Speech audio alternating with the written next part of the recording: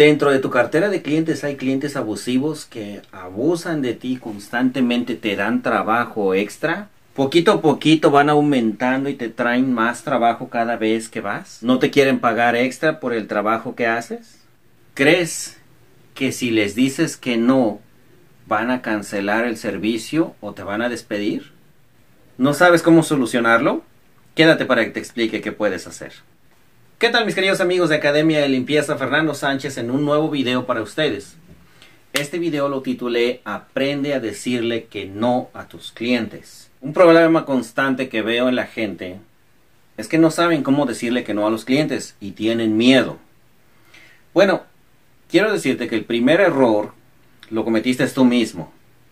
Cuando fuiste a hacer el estimado, cuando te presentaste la primera vez a trabajar con ese cliente, cometiste el primer error. ¿Sabes cuál fue? No haberle dicho a la gente qué es lo que ibas a hacer y cuál iba a ser el precio por esa cantidad específica de trabajo. Peor aún es que no lo pusiste por escrito. Por eso en videos anteriores he dicho, crea planes de trabajo, planes de servicio, donde tú le dices al cliente específicamente qué trabajo vas a hacer, qué es lo que está incluido en el servicio, cosa por cosa. Es decir, en el baño tienes que decir limpio la tina, limpio el espejo, limpio la counter, limpio el toilet, limpio el piso, saco la basura y eso es todo lo que está incluido. Si tú quieres que yo limpie los baseballs, las ventanas, el hood, las paredes, que saque todo de los gabinetes y limpie adentro, que lave el bote de basura, todo eso cuesta adicional. Sí, el problema es que tienes que poner por escrito qué es lo que vas a hacer en toda la casa, absolutamente todo. Y de esta manera el cliente puede entender qué es lo que vas a hacer y cuál es el precio. Ahora, ¿es esto algo anormal? No, no es anormal, amigos. Déjame que te diga. Ve a la pizzería que tú gustes y pide una pizza de jamón. Diles cuánto es. Y después diles, también quiero piña. Y quiero extra queso. ¿Sabes qué te van a decir? Bueno, por la piña extra es un dólar más y por el extra queso es unos 50 más. En todos los lugares donde tú vayas a comprar algo, siempre que añadas servicios adicionales o productos adicionales, va a ser más caro. Incluso el mismo producto pudiera costar más caro. En el caso de la pizza es el mismo producto con, con distintos aderezos y cuesta más caro. Pero supongamos que llamas a tu compañía de teléfono y les pides que aumenten el plan de data de, no sé, las 2 gigabytes que te dan gratis a 6 gigabytes, pues ¿qué va a pasar? Que te van a cobrar 6 o 10 o 15 dólares más. ¿Por qué? Porque estás, estás pidiendo un servicio adicional. Bueno amigos, en el caso de la limpieza no es excepción. Si el primer error ya lo cometiste y comenzaste trabajando sin decirle al cliente qué es lo que incluía tu servicio, tienes que corregirlo. Ahora, quiero hacer un hincapié en esto.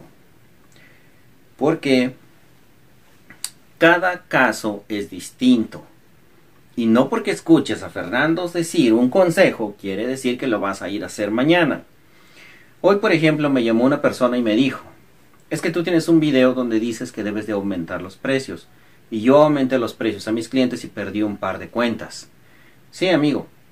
Pero también en el mismo video dije que se necesitaba una estrategia para aumentar los precios.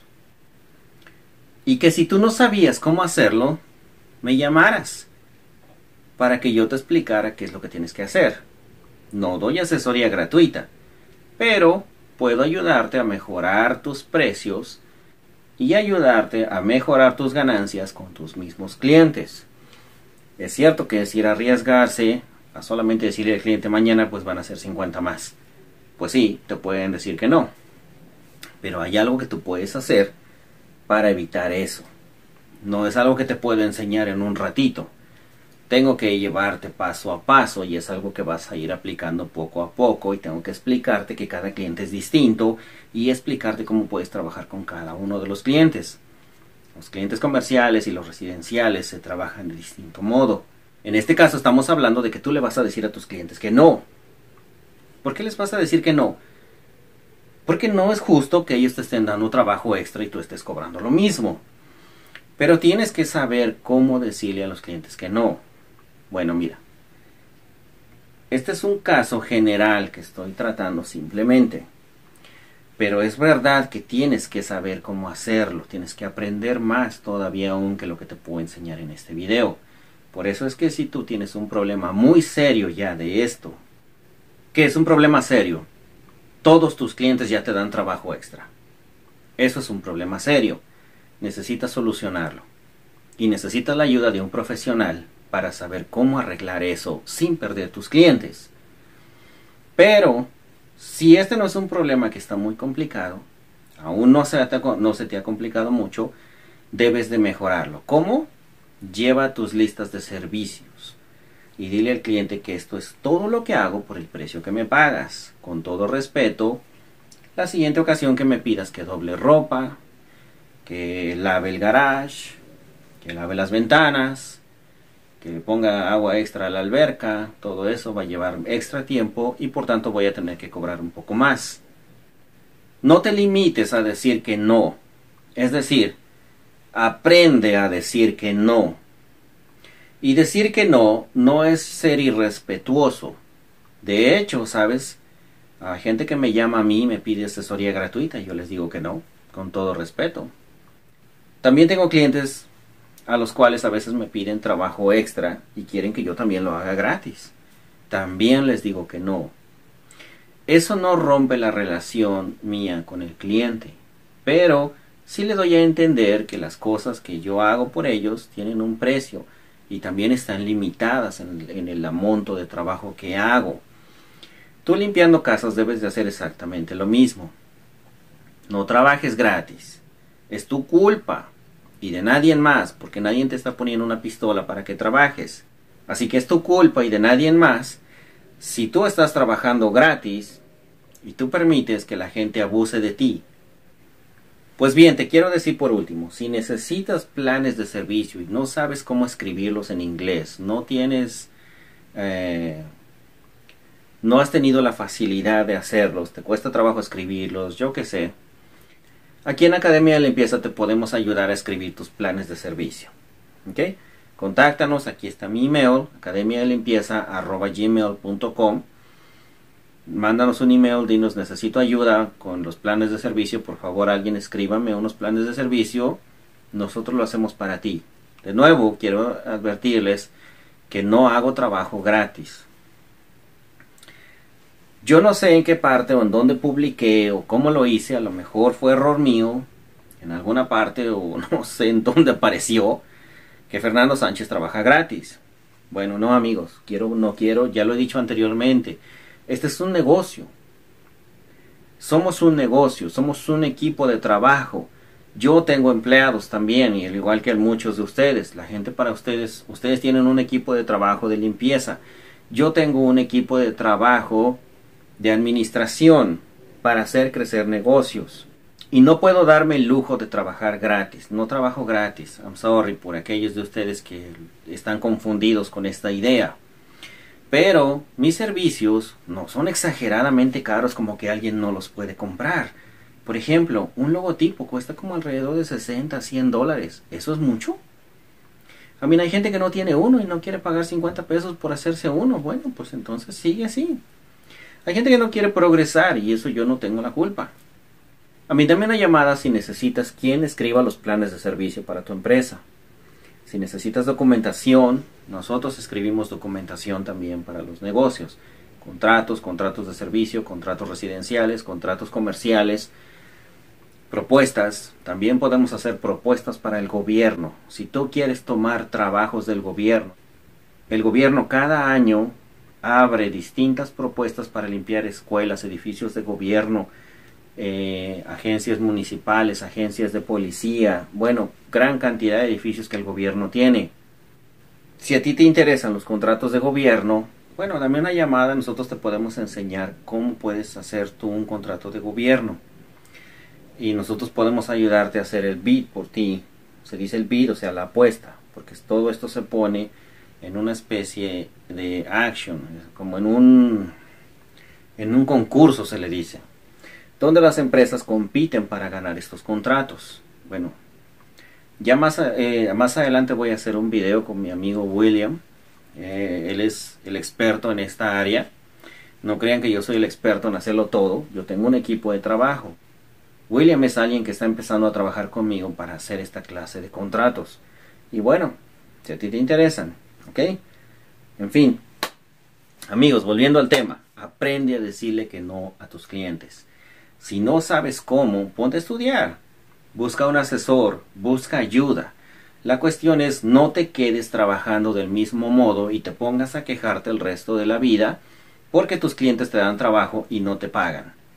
Tampoco te mantengas con los mismos precios toda la vida. Si no sabes cómo mejorarlos, danos una llamada. Nosotros te podemos ayudar a subir tus precios.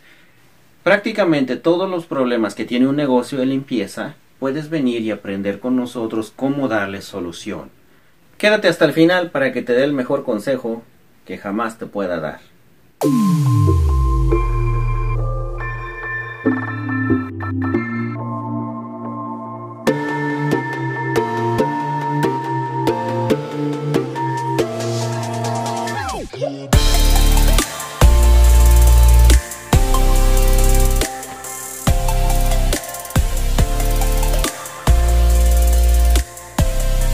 Pues bien, si aún sigues aquí, te quiero decir que el mejor consejo que te puedo dar es que compres un vehículo que te salve la vida. Déjame decirte, nosotros todos los días salimos a manejar para llegar a las casas de nuestros clientes. De día, de noche, en la nieve, en la lluvia, en el calor, en la humedad, en como quiera que esté el clima, nosotros salimos a trabajar. Muchas veces hasta tenemos que parar porque no se puede por una tormenta o algo así. Hace un par de semanas mi hija tuvo un accidente. Y te quiero poner aquí un pequeño video acerca del coche para que veas cómo quedó. El mejor consejo que te puedo dar es que compres un vehículo que valga la pena y que te salve la vida en caso de un accidente. Nosotros compramos coches reconstruidos con títulos que dicen rebuild no hagas eso.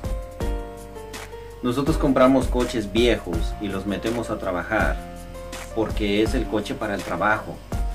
No hagas eso. El día que tengas un accidente, ¿quién va a responder por el negocio? ¿Quién va a seguir trabajando en el negocio para traer dinero si tú no estás ahí? ¿Quién va a mantener a tu familia? Muchas de ustedes son mujeres solteras ¿Quién va a cuidar de tus hijos? Algunos de ustedes tienen dos coches. Un coche bueno para la familia y un coche bien feo para el trabajo. Eso me consta porque lo he visto en muchos lados. ¿Sabes la gran cantidad de gente que he visto llegar a trabajar en un carro de los ochentas? Pero tienen un carro nuevo tienen un buen carro, solo que no lo quieren usar para trabajar, quieren utilizar el carro más viejo. Amigos, eso es un error. Tú andas todos los días en la calle y manejas cientos de millas o miles de millas al mes. El coche debería de estar considerado. Por eso es que yo insisto tanto en que deberían de mejorar sus precios para poder comprar un buen vehículo el día que tengas un accidente y andes manejando un coche que no le sirven las bolsas de aire o que ni siquiera tiene bolsas de aire, te vas a arrepentir cuando termines lastimado o lesionado. Una de las primeras cosas que yo pregunto cuando voy a comprar un coche es, ¿cuántas bolsas de aire tiene? ¿Qué tan seguro es? Yo no sé si tú te haces esta clase de preguntas cuando compras un vehículo, pero si no lo haces deberías de considerarlo Usar el carro más feo y más viejo no es la mejor opción. Tú estás allá afuera todos los días trabajando. Aparte de que lo necesitas por comodidad, lo necesitas por seguridad. No, el carro más viejo no es la mejor opción. No es solamente cuando sales con tu familia a pasear para ir a presumir. No lo quieres, no quieres un vehículo nuevo para salir con tu familia a salir a presumir. Necesitas un vehículo más nuevo porque es más seguro. Así que el mejor consejo que jamás te voy a poder dar es compra un vehículo que si algún día, Dios no quiera, ¿ok? Tienes un accidente, ese coche te salve la vida. Estoy tan agradecido con esta marca de la Toyota porque en el accidente que mi hija tuvo, aunque fue grave, el ajustador que fue a verla al carro de mi aseguranza me dijo he visto muy poca gente salir con tan pocas lesiones de un auto que haya tenido un accidente así. Mi hija tuvo una pierna rota, a la mitad del muslo se rompió su pierna. Tuvo algunas lesiones en la espalda, en su abdomen por el cinturón de seguridad y en su pecho, pero estaba salva. ¿Y sabes qué? Pues el vehículo lo tendría que pagar el seguro y los otros coches los tendrá que pagar sus seguros y veremos qué hacemos con las cosas materiales. Pero gracias a Dios ella salió muy bien librada de este accidente, aunque fue un golpe muy fuerte por la velocidad. Fue en el frío. Entonces, ¿sabes qué? Compra un vehículo que valga la pena. Utilízalo para trabajar. No te lleves el coche más viejo, al coche que no le sirven las bolsas de aire, al que el cinturón de seguridad no le funciona, al que los asientos están despegados del piso, no sabes la gran cantidad de cosas que yo he visto entre los hispanos. Por favor, cuídense. Háganlo por el bien de sus familias. Piensen en ellos. ¿Qué va a suceder si yo no estoy? O si yo falto. O si a mí me pasa algo. Pues bien amigos, no dejen de suscribirse a mi canal. Búsquenme en academialimpieza.com, mi website. En Academia de Limpieza, en Facebook, en Twitter, en Instagram, en todas las redes sociales o si les gustaría platicar conmigo acerca de asesoría personalizada, envíenme un email a academialimpieza.gmail.com o en mi página web puedes encontrarme también, academialimpieza.com. Que se la pasen muy bien. Hasta la próxima.